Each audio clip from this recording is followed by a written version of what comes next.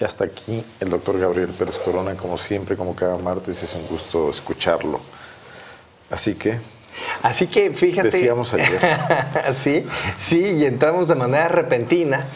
Porque el 11 de febrero de este mes es el Día del Enfermo. Curiosamente, em, se celebra esto para hacer eh, una nueva mirada humana, que esa es la intención, recordándonos a familiares, por ejemplo, a los propios enfermos y a los servicios de salud.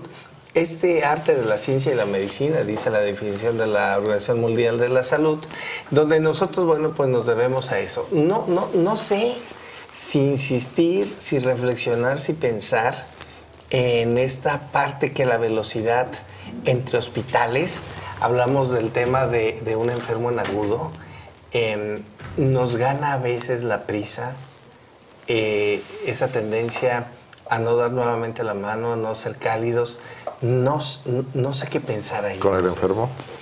Sí, porque te puedo decir que... Lo que llaman la famosa calidez. Lo que sí, y esta parte donde mm, los servicios de emergencias y de urgencias, por ejemplo, que están a la par y están de puertas abiertas, siempre están sobresaturados, tanto públicos como incluso privados, la mayoría de las veces, porque para eso son.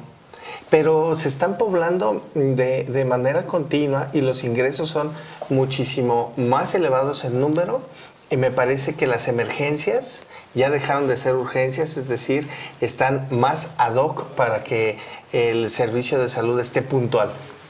En Express te platico, personas que por ejemplo se dejan de un dolor abdominal y que posteriormente por no ir a una revisión simple, Arnoldo, terminan en algo quirúrgico y en algo que expone su vida.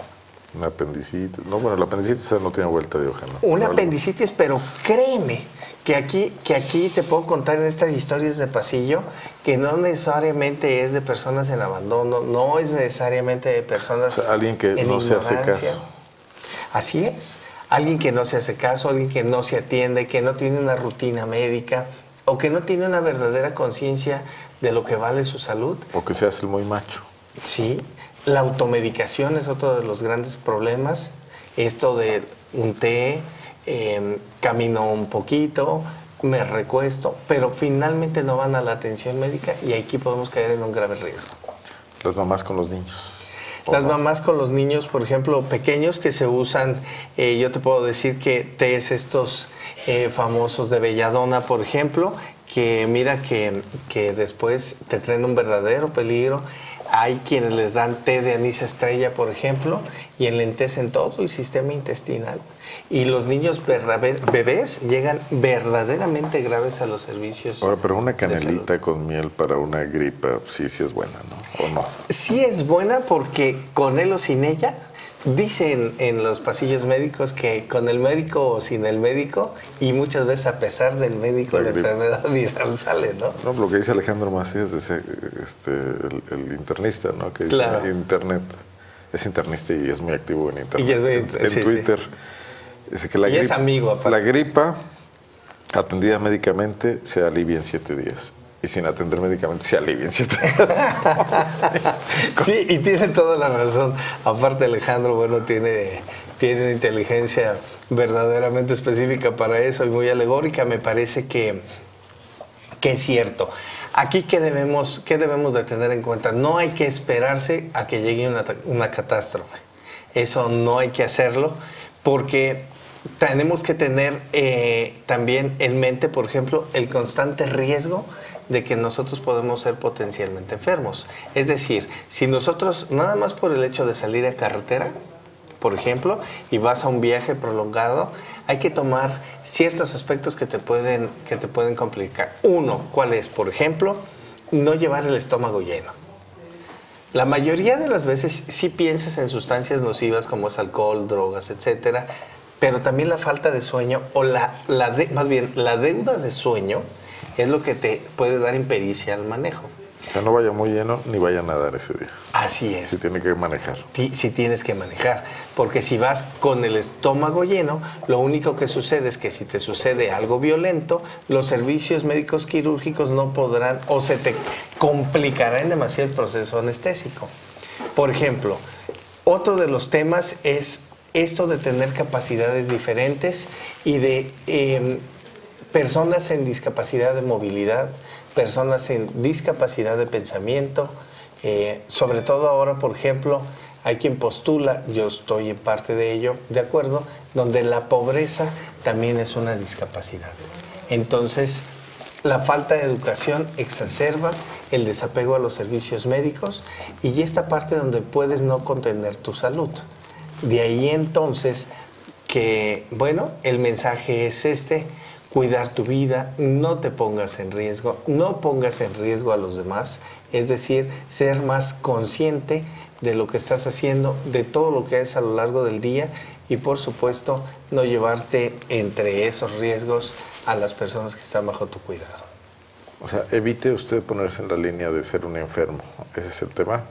Ese es el tema para que nosotros este 11 de febrero eh, potencialmente tengas estas manos ahí en esta imagen donde te colocan y te dicen eh, que siempre hay alguien para ayudarte, sí, pero para, para ver un enfermo se necesitan cosas que tú debiste haber hecho, como cuáles, como dejarte pasar una enfermedad, cómo no acudir eh, a tus servicios de salud, cómo no mejorar tu dieta, cómo no mejorar tu ejercicio, como tantas cosas que no vigilamos. Muchas de las veces, y la gran mayoría de las veces, y no es que todas, em, el que es responsable de su salud es quien padece la enfermedad. Pero por ejemplo, como con Jonathan Méndez aquí en el espacio de Cultura Física los lunes, también veíamos que si haces ejercicio sin la adecuada, que pues no sé, asesoramiento, claridad y todo, también te provoca un, problema de salud, ¿no? Sí, claro. Sí, sí, por ejemplo, cuando te lastimas, cuando en tiempo eh, te exacerbas, es decir, tomas abdominales simplemente. hasta las prácticas sanas deben tener un método porque si no, o la gente que se autopone una dieta. Claro, porque muchas, muchas de las ocasiones, por ejemplo, se llaman dietas cetogénicas cuando solamente comen proteínas o muchas veces dejan de comer. Por supuesto que también bajas de peso y bajas Porque la dieta de la luna o que no sé qué cosa. La dieta de los plátanos, nada más agua, por ejemplo. Otros hacen nada más gelatina. Entonces, lógicamente, si bajas, te deshidratas finalmente después bajas en, las bajas en calorías te llevan incluso a consumir tu propia proteína y terminas en una desnutrición severa. Entonces todo tiene que tener un método, tienes que estar auspiciado por el personal de salud y bueno, finalmente vaya, que no te estén festejando el día del enfermo. No, eso es la única celebración que no quiero. Ese es el mensaje, ¿no? Entonces vaya así, tener, tener esta propiedad de los servicios médicos, de los servicios de salud, bueno, que estén a la orden del día, más significar que cada día la población debe estar más sana, apegado a la educación, apegado por supuesto a la conciencia y a una cultura Pero no vamos perdiendo la batalla, Gary. Mira, la realidad... Consumo de refrescos, consumo de... Sí, Sí, porque se nos fue, se nos ha ido de lado el pensamiento. El sistema financiero mexicano, por ejemplo, te ha hecho más pobre a la, a la población. Y esto ha hecho más complicado tanto la educación, insisto, para la salud, como para el distanciamiento entre los servicios médicos. Es así entonces que, por ejemplo, desde el orden de la dentadura en los niños está alejado porque no podrían y no pueden ser las, las instituciones públicas suficientes, por ejemplo, para el tema de caries. Entonces, ahí sí hacen estas, estas campañas de flúor para prevención. Pero ya cuando hay un daño que es en más del 70, el 80% de la población infantil, bueno, pues esto se convierte en un holocausto.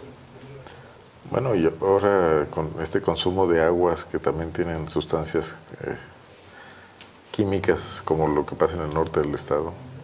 Así bueno, es. El flúor, que, en pequeñas proporciones puede ser benéfico. Me acuerdo que aquí fluorizaban el agua. Así ¿Te acuerdas? Para evitar caries.